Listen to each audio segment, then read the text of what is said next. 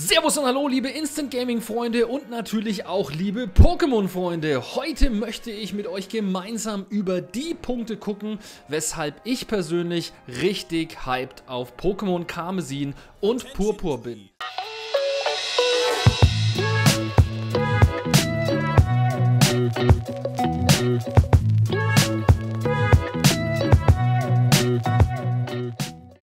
Legen wir auch gleich los mit Punkt Nummer 1. Open World. Ja, meine lieben Freunde, ihr habt richtig gehört, es gibt endlich eine richtige Open World. Nicht wie jetzt zum Beispiel bei Legenden Arceus eine Teil-Open World, wo gewisse Gebiete Open World sind. Nein, es gibt eine richtige Open World. Heißt für uns, wir müssen nicht der Story folgen und können einfach eine der verschiedenen Storylines machen. Also wir können einfach Prüfungen durchführen, wir können aber auch einfach Orden sammeln oder wir können auf Pokémon-Jagd gehen. Das bleibt uns komplett frei überlassen. Und gleichzeitig ist es die Möglichkeit, auch von Beginn an direkt schon alle Funktionen zu nutzen. Heißt, wir können fliegen, wir können klettern und wir können schwimmen. Das ist auf jeden Fall schon mal was Neues, das es so noch nicht gab. Und ich persönlich bin sehr, sehr gespannt, wie es denn in der Pokémon-Welt so aussehen wird. Heißt für mich persönlich, ich kann endlich machen, was ich will. Und ich bin sehr, sehr gespannt, was ich mit dieser Freiheit anfangen werde. Punkt Nummer zwei ist der Online-Modus bzw. die Online-Kämpfe. Endlich wird es einen richtig guten Online-Modus geben. Zumindest ist das das, was angekündigt worden ist. Wir sehen endlich wieder Online-Kämpfe, bei denen es sich lohnt, kompetitives Gaming sozusagen zu leben und auch gleichzeitig in die Pokémon-Welt zu tragen. Für viele da draußen ist es ein riesengroßes, ja, wie soll ich sagen, Schmuckkästchen, mit dem man gemeinsam sein Pokémon-Team einfach verbessert und gegen andere auf der Welt da draußen in den Kampf schickt und sieht, wer ist denn der Bessere. Ich denke, das ist ein sehr, sehr großer Inhalt dieses Spiels und man hat es bei Pokémon Schwert und Schild ja schon gesehen. Auf jeden Fall auch sehr, sehr beliebt bei der Community.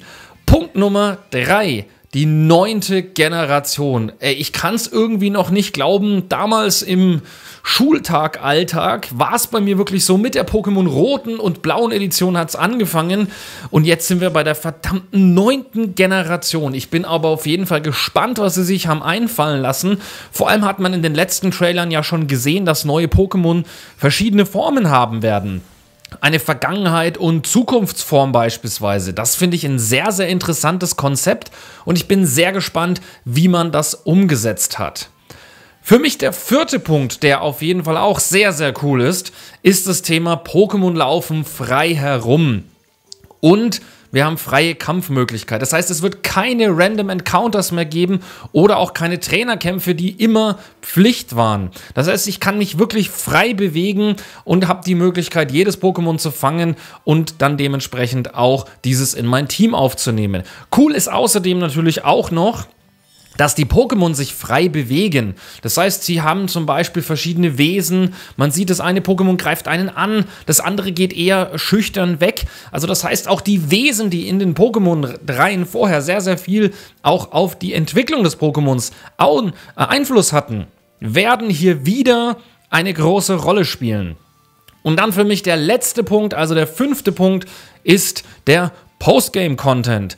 Früher war es ja so, wenn man Pokémon durchgespielt hatte, alle Orden hatte, ging es darum, einfach nur alle Pokémon zu fangen.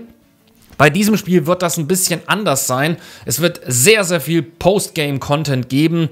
Man kann sein Team verbessern für die Online-Kämpfe. Man kann natürlich auf die Pokémon-Jagd gehen. Es wird aber auch, da bin ich mir sehr, sehr sicher, diverseste DLCs geben, wie wir es auch bei Schwert und Schild gesehen haben um dann auch noch einiges mit der Welt anzufangen. Ich bin schon sehr gespannt, was Paldea zu bieten hat. Ich bin natürlich auch gespannt, was ihr dazu sagt. Werdet ihr es euch holen? Wenn ja, schreibt mal drunter, welche Version es werden wird. Ich bin an der Stelle raus. Danke fürs Zuhören, danke fürs Mitmachen. Euer Basti. Tschaußen!